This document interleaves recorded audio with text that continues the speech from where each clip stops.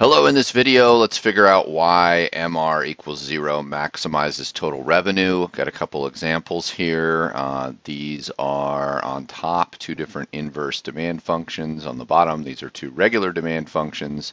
They are in fact the same function, just rearranged. Uh, pretty, pretty traditional stuff. So we're starting out with uh, this question, or this, uh, I guess, statement. When MR is zero, total revenue is maximized. So we want to know like why does that happen? Okay.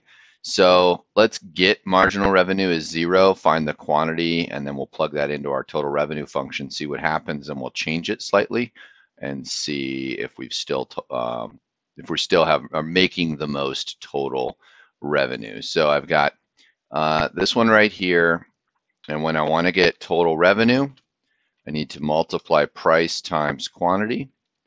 So in that case, total revenue, I'm just going to take that top function right there. It would be 40Q minus uh, 0.5Q.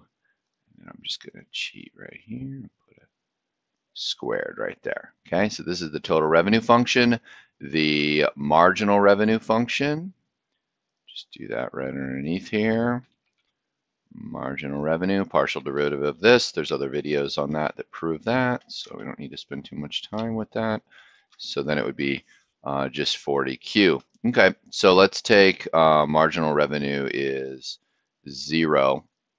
So if we say marginal revenue is zero and then solve for Q, uh, we get Q is 40. So for this demand function over here, um, in this market, we've got uh, quantity 40 will give us the, ah, the highest total revenue when we produce 40 units. So let's see what that total revenue would be. So we're just going to plug that back into our total revenue function. This would be 40 times 40 minus 1 half 40 squared. Okay. And make sure I don't make a mistake. Let's get out the calculator here. So 40 times 40 is 1600. That part's pretty easy. Uh, and then over here is 1600, so that's that's half of that. Uh, so 800. So 1600 minus 800 would be total revenue is 800. Okay, so basically we just want to see if we can beat that. And if we can, then we didn't maximize revenue. But if we can't, then we, we did. So let's put um, marginal revenue is 10. Okay, marginal revenue is 10, and then we'll see what the quantity is. So we're going to plug that back into here. So this would be 10 minus, uh, sorry, 10 equals, we're just plugging into this function right here, uh, 40 minus q, and then q equals 30. So when marginal revenue is 10, quantity is 30. Let's see what that total revenue brings us.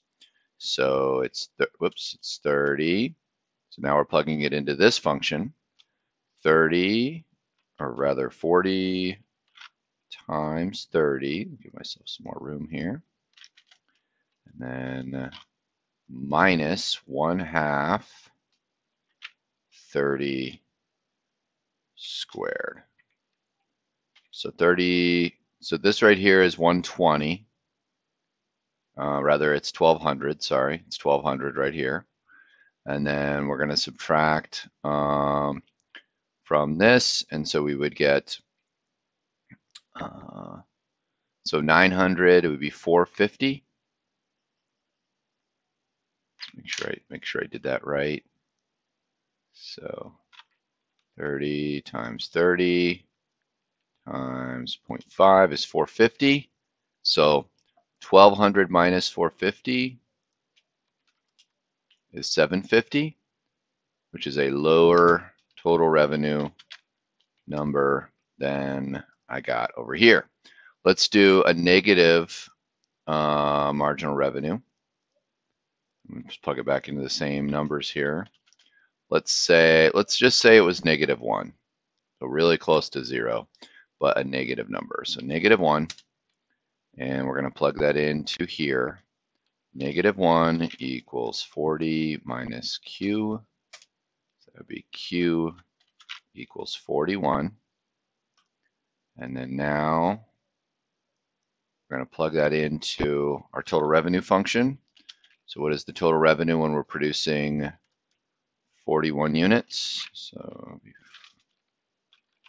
41 minus 1 half uh, 41 squared. You definitely need a calculator on this number.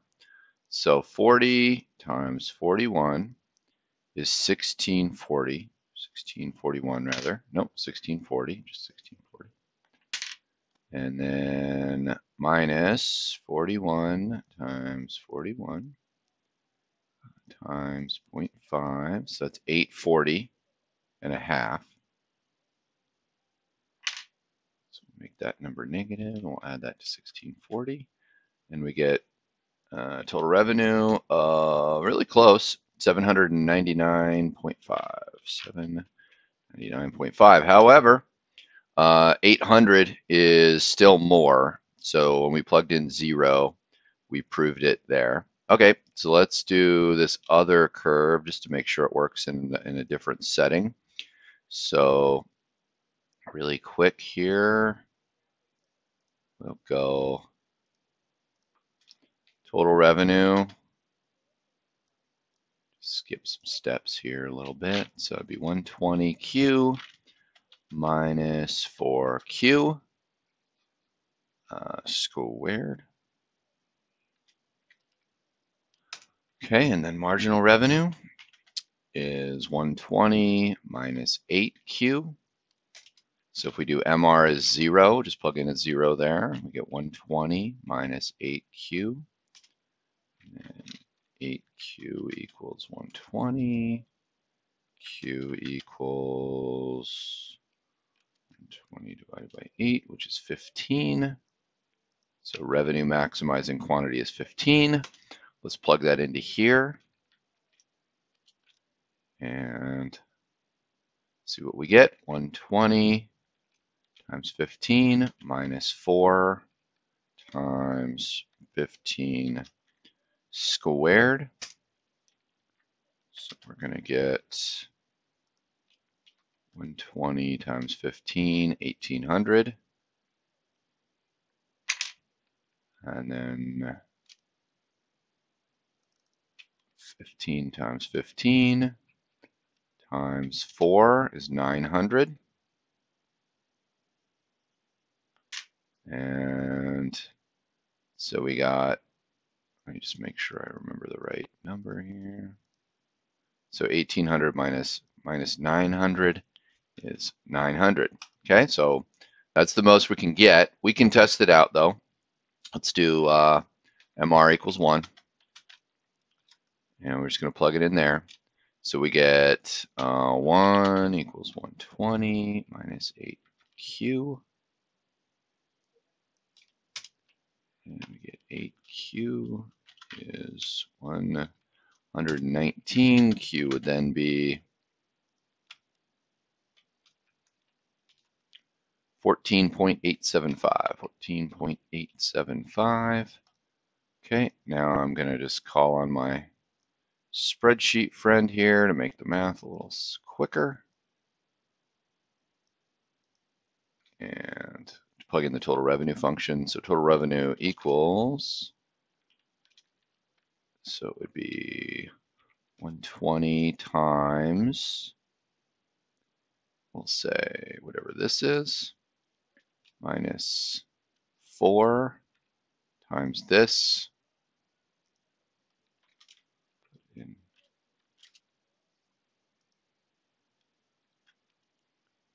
squared.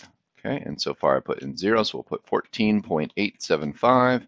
We get $899.93, which is not quite there. Now the cool thing about this is I can actually put in uh, any number that I want. So before we had uh, Quantity 15s, what if we do a little bit more? Quantity 16 gives us 896, that's a little bit more. Let's say quantity 10, that gives us only 800.